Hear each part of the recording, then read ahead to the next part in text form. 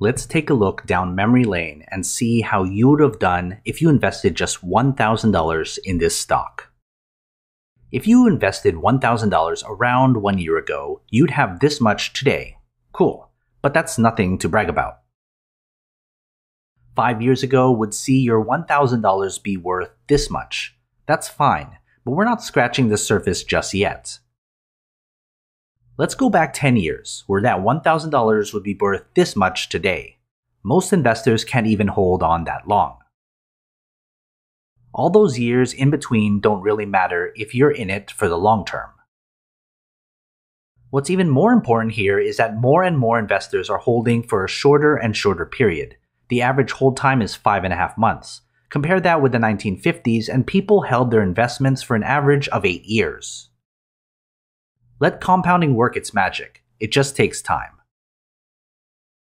Since 1950, the stock market has dropped at least 10% 38 times. That's once every 1.84 years. Don't let that bother you. Invest wisely, and as always, take care of your money.